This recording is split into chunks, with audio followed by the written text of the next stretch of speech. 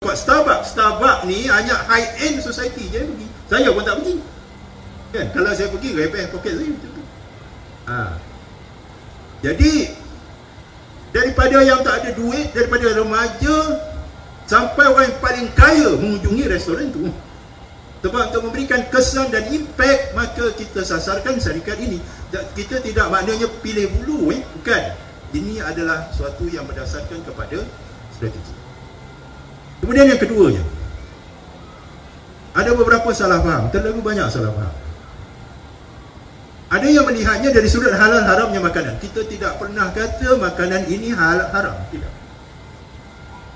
Semuanya ada sijil halal jakib. Dari sudut tu pergilah, tak ada masalah. Tetapi kita bukan bercakap soal halal haramnya makanan. Kita bercakap tentang sesuatu yang lebih besar daripada itu. Kita bercakap tentang solidariti umat Islam dan bukan sekadar solidariti umat Islam, kita bercakap tentang persoalan pokok yang menyentuh akidah kita sebagai umat Islam. Akidah. Akidah. Bila kita bercakap tentang isu Palestin, isu akidah. Baik, saya nak cakap. Apa bezanya haramnya babi dengan haramnya Israel? Ha, cakap dalam bahasa yang kasar itu. Boleh? Boleh? Tak, tak salah yang cakap cakap babi boleh? Bukan mencarut ni. Bezanya haramnya babi dengan haramnya Israel?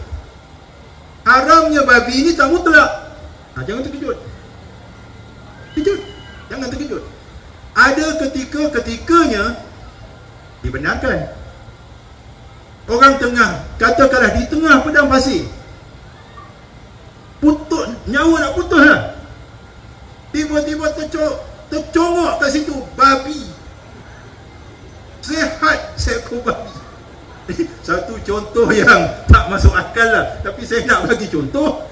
Supaya kita faham. Maka kita orang tangkap babi itu Untuk menyelamatkan nyawa. Sebab makasih syariah ada lima kita kena pelihara nyawa. Kena, kena pelihara agama. Kena pelihara akal. Kena pelihara nyawa. Pelihara harta. Dan pelihara satu lagi apa? Keturunan Ha, sebab tu zina tak boleh, bunuh tak boleh, mencuri merompak tak boleh, murtad tak boleh, semua. Ya? Tapi dalam keadaan ini haram, haramnya babi itu boleh bertukar menjadi harus. Kerana memelihara nyawa itu wajib. Makanlah sekadar untuk meneruskan kehidupan. Bukan sampai kenyang. Maka kita pun tambat babi itu pun kita bawa. Antara menunggu kita diselamatkan. Sebab kita tak tahu 2-3 hari nanti tak ada makanan lagi Ada lagi Bekal yang kita bawa. Tiba-tiba ada perompak. Perompak ni nak rompak babi kita tu. Dan kalau kita lawan perompak tu Untuk mempertahankan babi ni Mati, kita mati syahid. Ini ulama sebut Memanglah contoh ni contoh bodoh. Tapi nak bagi faham. Maknanya haramnya babi itu tahu tak? Dia boleh bertukar menjadi harus Dalam keadaan-keadaan yang daruriyat. Kalau nyawa kita terancam. Nah haramnya Israel Haramnya mutlak. Dia tidak akan berubah. Hukum haramnya Israel ini tak akan berubah. Bagi saya kongsikan Satu fatwa.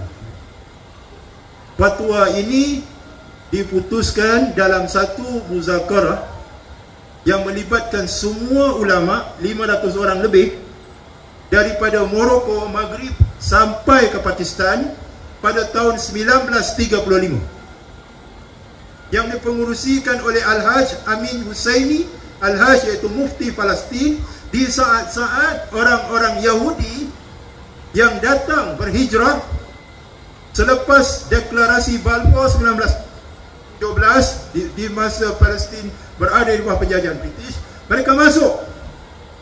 Mereka masuk membawa kekayaan dan mereka beli tanah-tanah rakyat Palestin yang miskin. Dengan pelbagai cara. Ada dengan cara hutang tak dapat tak hutang tak langsai tanah tergadai. Ada yang beli dengan harga yang tinggi. Lalu Al-Haj Amin Husaini mufti Palestin dah nampak dah bahaya yang akan melanda negara Palestin ni dia panggil satu muzakarah ulama seluruh dunia untuk membincangkan khusus perkara ini ya apa rurusannya iaitu siapa-siapa Boleh tengok dalam buku saya yang saya saya letakkan di bahagian appendix fatwa uh, teks fatwa yang sudah diterjemahkan dalam bahasa Inggeris dan dalam bahasa Melayu. Kalau nak tengok dalam bahasa Arabnya pun ada yang original. Saya boleh bagi kalau rujukan. Siapa-siapa yang terlibat dalam penjualan tanah ini sama ada mereka yang memiliki yang menjualnya secara sukarela mereka yang bertindak sebagai broker yang bertindak sebagai ejen mereka yang dapat komisen mereka yang reba bahkan mereka yang tak peduli tak ambil tahu maka atas mereka ini nombor satu hubungan mereka dengan umat Islam putus. Putus hubungan adik-beradik putus hubungan suami isteri putus hubungan ibu ayah dan anak dan sekiranya mereka mati jenazah mereka tidak akan diuruskan secara Islam dan mereka tidak akan dikapankan, tidak akan dimandikan, tidak akan disemayangkan dan akan dikebumikan di kawasan di luar perkuburan manusia. Nah, serius ke tak serius? Fatwa ini masih ber, ber, ber apa ni masih masih masih masih benar. Walaupun ianya diputuskan sebelum berdirinya negara Israel pada tahun 1948 dan ianya masih berkuat kuasa sehingga hari ini. Jadi saya nak bagi tahu dekat sini bukanlah nak kata siapa yang pergi makan dekat restoran tu mati dia kita ke bumi dekat jidat Cina. Tak Jangan salah faham. Kadang-kadang kita ni simple. Eh? Tu simple pula main itu masalah. Eh, Dr. Abizi kata siapa yang pergi makan dekat kedai ni, mati dia, kena tanam dekat jirat Cina. Bukan. Tolonglah. Tolong jangan putar belit. Saya nak bagi tahu prioritinya. Ya? Bahawa ini bukan isu hal bukan isu halal haramnya makanan. Ini adalah isu yang berkait dengan suatu yang lebih besar lagi iaitu akidah sesuatu yang berkaitan dengan solidariti, kesetiaan wala kita kepada Islam. Okey. Jadi itu kedudukannya kita nak faham dalam konteks itu. Kemudian yang kedua, apa jadi dengan pekerja-pekerja? Pekerja-pekerja ni, ya? Soalan yang sering kali ha, di, diutarakan. Saya nak jawab dia begini. Walaupun jawapannya brutal. Saya ada jawapan yang lebih hikmah lagi, tapi saya bagi jawapan yang brutal. Yang brutal dia apa? Kita duk gaduh dan risaukan nasib 10 ribu orang yang hidup di dalam negara yang makmur ni. Ya? Yang mana rezeki melimpah ruah dan ada di mana-mana. Pada, pada zahirnya lah. Walaupun rezeki itu datang daripada Allah. Kita duk risau tentang mereka ini berbanding dengan 6 juta rakyat Palestin yang berhadapan dengan kematian setiap hari. Kita tengok dah Macam mana setiap keluarga Ada saja mereka yang syahid di dalam. Itu jawapan yang brutal. Tapi saya tak suka bagi jawapan yang brutal. Sebab dia menyakitkan. Kau tak berada dalam kedudukan aku. Kan? Nanti kalau aku hilang atau pencarian Siapa nak tanggung? Ah, Okey. Ini jawapan yang berhikmah.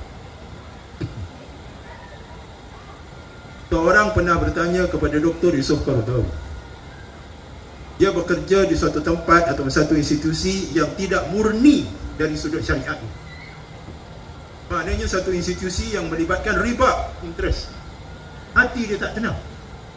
Jadi dia menulis satu soalan dikemukakan pada Dr. Isau Kardawi aku nak berhenti. Kerana sumber rezeki ku tidak halal. Apa jawapan Dr. Isau Kardawi? Dia kata jangan berhenti. Jangan. Teruskan bekerja kerana jika kamu berhenti dan kamu hilang mata pencarian, dia akan menjadi fitnah kepada diri kamu dan kepada keluarga kamu. Mereka mengharapkan cara hidup daripada kamu. Jadi apa yang kamu perlu lakukan ialah kamu usaha mencari pekerjaan lain yang gajinya ataupun upahnya setimpal ataupun lebih baik. Macam tu. Bila dah jumpa, baru berhenti. Sebab itu kita kata Islam ini adalah penyelesaian. Islam bukan Allah Ta'ala tak turunkan Islam ini untuk menyusahkan manusia. Tidak. Bahkan ada satu soalan yang jauh lebih rumit untuk dijawab. Ada seorang pilot tentera Amerika yang beragama Islam, seorang Muslim yang membawa jet pejuang, memandu jet pejuang dalam perang Iraq. Bayangkan. Maka sebagai tentera udara, tadi kita tengok apa? Tentera laut kan? Kita cuma tanya tentera. Apabila mereka ini mendapat arahan anda kena lakukan. Kalau tak anda akan di, dia akan dituduh sebagai pianat jadi kerja dia mission dia ialah untuk mengebom bandar-bandar umat Islam di Iraq. Dengan dengan air mata yang bercucuran dia tulis surat kepada Dr. Yusof Kardawi apa yang perlu aku lakukan? Kerana aku kalau berhenti askar ni kalau berhenti hianat. Mana boleh berhenti apa jawab Dr. Yusof Kardawi lakukan! Mission tu. Terbayangkan kita tergambar akan kita memberikan jawapan seperti itu. Tapi itulah soal, soal jawapan yang paling realistik. Lakukan tapi jangan berlebihan. Kalaulah apa ni komander kamu kata letupkan bangunan ini. Ah bangunan ini saja. Jangan kamu tambah pula bangunan sebelah dan bangunan sebelahnya. Nampak? Kalau kalau pilot-pilot yang lain tu kebetulan dah bom yang ni aku bom lain sebelah-sebelah tu tengok Islam adalah penyelesaian. Lalu kita nak katakan kepada mereka yang bekerja dekat premis-premis seperti ini sasaran boykot ini bukan anda. Sasaran boykot ini adalah syarikat itu. Dan tujuan boykot ialah supaya mereka mengubah polisi. Sebab sekarang McDonald ada tersebutlah McDonald ya. McDonald mengalami kerugian global loss buat pertama kalinya. McDonald mengalami kerugian.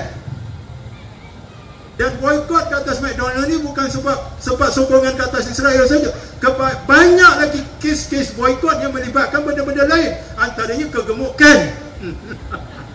Ya antaranya uh, cruelty towards animal. Banyak kes. Jadi keadaan-keadaan ini dengan dengan boykot yang bertimpa-timpa ini kita mengharapkan syarikat-syarikat ini review balik semak balik polisi mereka kerana rupa-rupanya sokongan mereka ke atas Israel merugikan perniagaan. Jadi boleh tak saya kemukakan satu kempen bunyinya begini. Boykotlah McDonald supaya satu hari nanti kita boleh makan dekat McDonald. Ah, kan mesra McDonald tu. Siapa kata kita dengki kat McDonald? Tak. Kita nak selamatkan McDonald. ah. Jadi kita nak kan Kita nak bela semua orang Kita nak bela rakyat Palestin Dan kita tak nak menganiaya mereka yang Mungkin pendapatannya akan terjejas. Jadi kita berikan jalan-jalan keluar. Cuma saya terharu lah Ada seorang pekerja McDonald tu Memang dia beritahu dengan saya Memang dia berhenti Dia tak sanggup. Buat hati dia Cuma kita nak bagi nasihat Kalau ada lah yang nak buat tindakan yang sama nanti dulu. Jangan berhenti. Teruskan bekerja cari dulu pekerjaan yang lain. Kalau dah dapat yang gajinya lebih baik. Ingat lebih baik. Baru berhenti. Islam adalah penyelesaian kepada masalah umat ya. jadi soalan boykot ni adalah soalan yang sangat uh, popular dan uh, saya nak sambung lagi tapi tak apalah. Rasanya cukup dulu Cuma ada satu satu kes yang saya nak beritahu lah sebagai tambahan. Yang saya katakan tadi boykot yang dilakukan di barat sangat berkesan uh, kalau kita uh, mengikuti perkembangan kenal tak Stephen Hawking? Ni pelajar-pelajar UTM mesti kenal. Stephen Hawking yang menulis buku uh, apa ni Wrinkles in Time. Apa lagi buku-buku dia. Yang mengalami penyakit para paraplegic paraplegic yang yang duduk atas kursi roda dekat fizik fizisis kan dia telah memboikot akademia Israel. Dia tidak akan hadir mana-mana conference yang dianjurkan oleh Israel. Lihat. Dan ada satu projek dekat Mekah. Ya Mekah ni eh? projek LRT yang uh, mana kontraknya dianugerahkan kepada sebuah syarikat Alstom. Alstom ni is a French company dan dia mendapat tender projek untuk bina LRT daripada Mekah ke Madinah untuk kemudahan jemaah haji dan mereka yang melaksanakan umrah boleh tak? ya kan?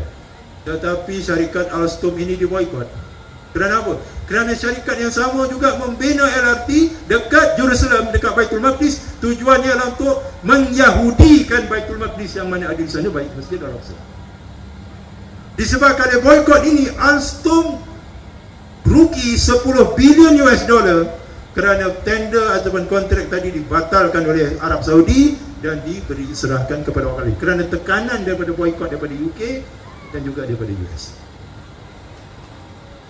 So boykot works. Dan kita, nak tahu tak bagaimana kerajaan Afrika Selatan tumbang? Dia ditumbangkan oleh boykot. Bermula tahun 1962 sehingga 1980 akhirnya rejim apartheid Afrika Selatan tumbang sebuah rejim yang membezakan manusia berdasarkan warna kulit. Ada tandas orang putih ada tandas kulit berwarna. Bayangkan kita tandas wanita dengan laki-laki dia tandas orang kulit hitam tandas orang kulit putih.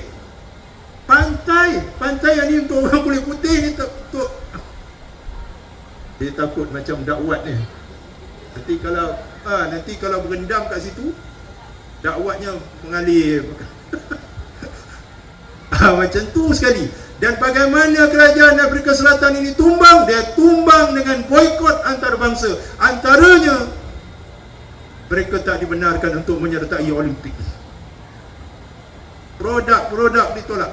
Kalaulah kita dah ada contoh. Ianya boleh percaya dan ianya semakin memperlihatkan kejayaan kerana apa? Kerana Israel sudah mula mengeluarkan undang-undang. Siapa-siapa yang kempen boykot barangan Israel akan dikenakan tindakan.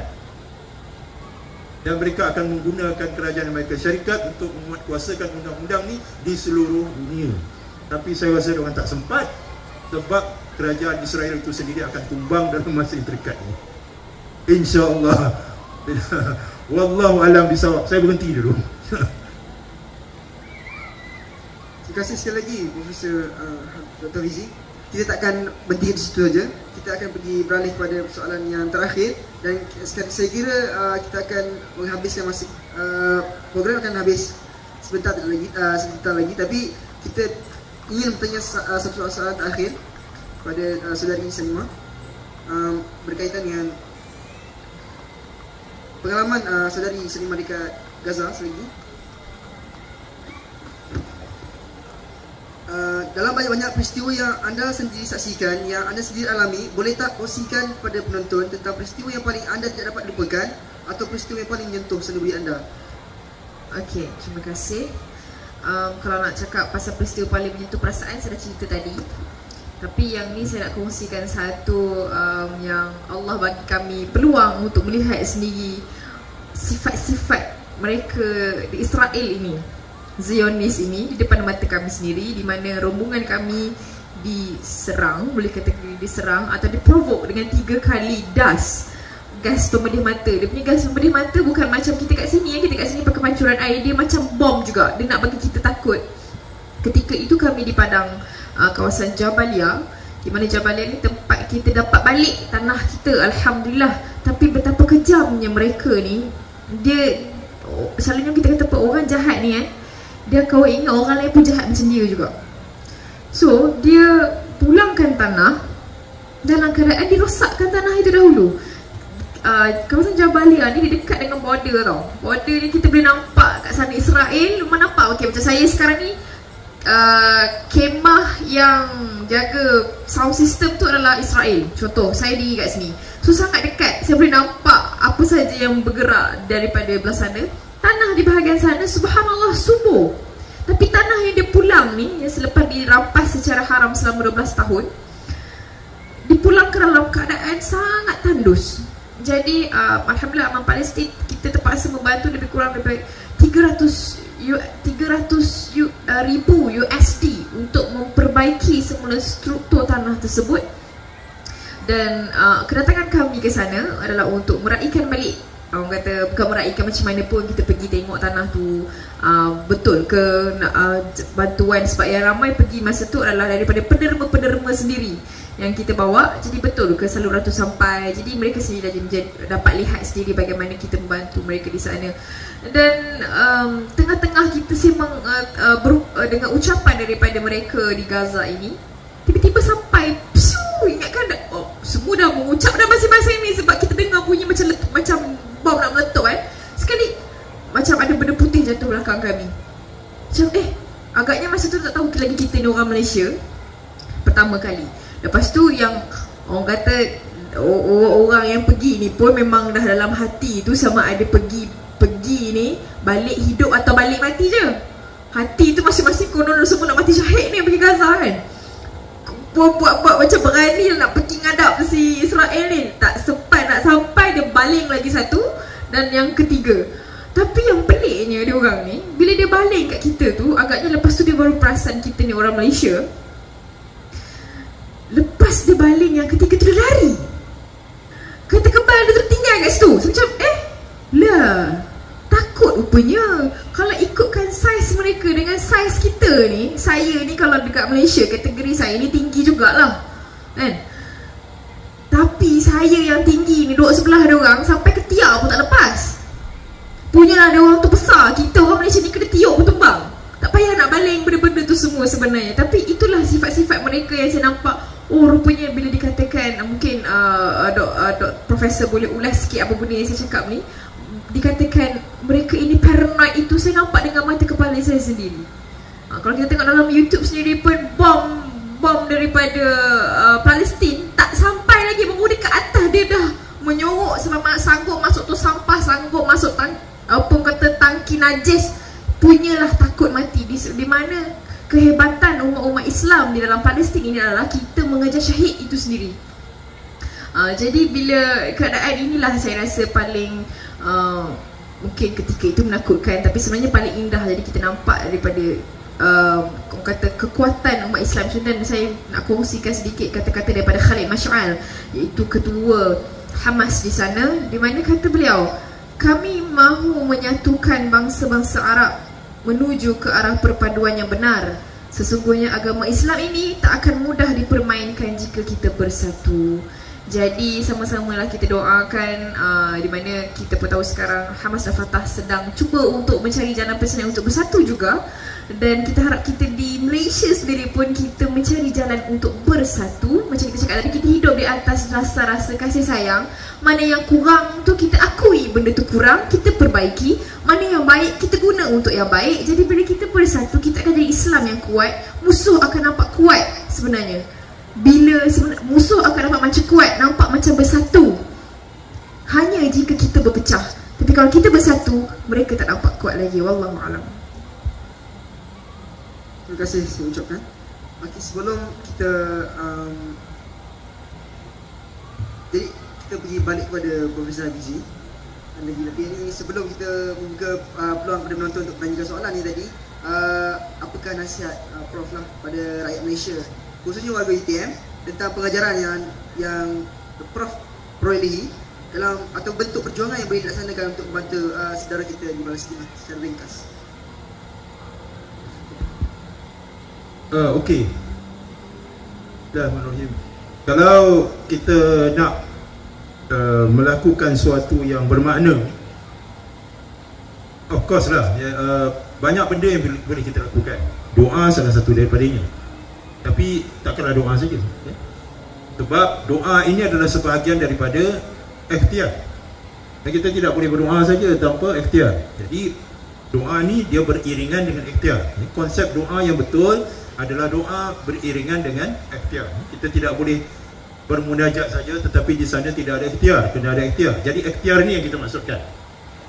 Apakah bentuk ikhtiar yang kita boleh lakukan? Yang pertamanya yang kita dah sebutlah antaranya boykot tapi ini pun satu bentuk yang kita panggil satu uh, sumbangan secara pasif. Pasif. Dia pasif. Jadi apa yang yang mungkin yang ditanyakan oleh moderator tadi sumbangan secara aktif ha, bagaimana kita nak membuat sumbangan secara aktif? Of course lah macam kita boleh ambil contoh macam uh, Salimah sendiri pergi ke Gaza. Itu satu sumbangan yang aktif. Cuma mungkin uh, hulusnya enggak ada. Itu kalau ada rezeki insya-Allah carikan. Insya-Allah maknanya kalau kita doa sungguh-sungguh kita nak pergi nak nak nak merasakan nak merasakan suasana tu mintalah. Mungkin satu masa nanti Allah akan dorongkan dan kita akan berpeluang ke sana. Itu satulah tapi sementara itu tercapai. Banyak lagi benda-benda lain secara praktikal yang kita boleh contohnya macam pesta konvo ni. Saya ada terbaca suatu uh, inisiatif yang dilakukan oleh pelajar-pelajar di sebuah universiti di Germany. Di Jerman ni, Germany. Apa yang dia buat ialah dia susun kotak-kotak disusun kotak-kotak dijadikan dalam bentuk tembok. Tembok. Dan uh, tembok ini adalah lambang kepada separation wall ataupun tembok pemisah yang memisahkan tebing barat daripada uh, Baitul Maqdis. Jadi penduduk uh, Palestin yang berada di tebing barat tu mereka dikepung oleh tembok pemisah ni panjangnya 800 km tingginya lebih kurang 10 meter 30 kaki. Ya? Jadi mereka susun kotak-kotak katakanlah macam kawasan lapang ni kan? Disusun kotak-kotak dijadikan dalam bentuk tembok begitu. Kemudian dia dengan dengan cara begitu dia dapat paparkan inilah kehidupan di Palestin di mana aku sebelah sini keluarga aku sebelah sana dan kalau aku nak ziarah dia, aku kena berjalan sampai 7 km jauhnya sebab uh, checkpoint ataupun pintu masuknya berada 7 km daripada tempat. Nak dia nak nak lambai-lambai pun tak boleh. Bayangkan 30 kaki tingginya. Dan antara keduanya pula ada barricade, ada ada apa ni, ada ada kita panggil macam apa? Macam trench, ya. Parit dan ada kawalan-kawalan uh, bersenjata dan sebagainya. Dan berapa berapa ribu ya, puluhan ribu kanak-kanak yang terbengkalai ataupun tercicir kerana mereka tak dapat pergi sekolah. Sebab nak pergi sekolah mereka kena berjalan jauh sampai 7 km walhal sekolah berada di sebaliknya.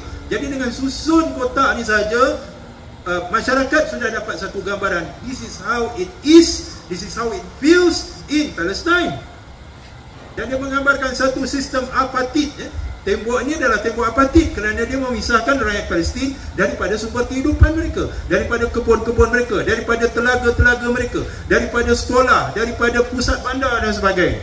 Jadi ini antara satu contoh. Dan anda sebagai orang-orang muda, kreatif ya, dan inovatif. Kadang-kadang kita pun kadang macam Salimah umur 25, saya dah 50. Tahap pemikiran kami yang dah lama ni, kadang-kadang tak tak dapat uh, kadang-kadang rasa terkebun dia melihat produk-produk kreatif orang-orang muda. Macam mana dia boleh buat macam tu? Ha, macam tu reaksinya. Jadi gunakanlah kreativiti anda untuk mencipta sesuatu yang boleh menarik perhatian. The key word is you appeal to the society and you attract attention. Ya. Dengan dengan kreativiti kita itu kita boleh menyebabkan orang berhenti dan berfikir. Oh macam ni rupanya. Tak perlu pandai ber berceramah ya. Yang pandai ceramah ni Salimah aja. Dan beberapa orang. Yang lain-lain janganlah. Oh kalau ah, kalau kalau boleh aku nak ceramah juga. Kalau sementara kita pandai ceramah tu ah, kita kita gunakan kreativiti kita artistry kita untuk menghasilkan sesuatu yang boleh menarik perhatian. Kita kan ada Facebook. Kan? Kita kan ada laman sosial dan kita boleh buat graphics kita boleh buat macam-macam. Saya tak boleh sebut lah tak payah ajarlah dia orang ni macam macam titik berenang. Kan? Kalau saya nak cakap dengan lebih lanjut lagi. Ha, jadi itulah. Uh, dan dan yang paling penting lebih penting daripada itu komitmen kita kepada Palestin ini tidak boleh komitmen berdasarkan sentimen berdasarkan emosi. Dia mesti berdasarkan maklumat. Dia mesti berdasarkan ilmu. Dia mesti berdasarkan apa sudut pandang Quran. Apa sudut pandangan sirah Rasulullah sallallahu alaihi wasallam. Barulah perjuangan kita ini adalah berdasarkan kepada suatu asas yang kukuh yang tak akan goyah, tak akan mudah goyah dan kita tidak akan tinggalkan sampai kita menutup mata untuk bertemu dengan Allah Ta'ala kerana kita sudah pun berpegang dengan kebenaran ini dan kita sama sekali tidak akan melepas ini. Tapi kalau rasa sentimen, ha, kita tengok hari kesiannya dia, kita pun menangis, tabung lalu kita pun masuk duit, besok kita lupa dah. ha, kita pun ada berterusan dalam keadaan gitu. Jadi pastikan komitmen kita ini adalah berdasarkan ilmu, berdasarkan maklumat, berdasarkan kefahaman wallahu alam dan uh, suja, uh, sejuta berjuta terima kasih kami warga UTM uh, khususnya kepada ahli Belanda berdua uh, kerana sanggup meluangkan masa menghabiskan uh, menghabiskan uh, macam mana lah tapi insyaallah lah kita akan berjumpa lagi uh, di lain uh, program insyaallah kalau uh, ada kesempatan Okey, dengan itu kita akhiri uh, wal hidayah. Wassalamualaikum warahmatullahi wabarakatuh.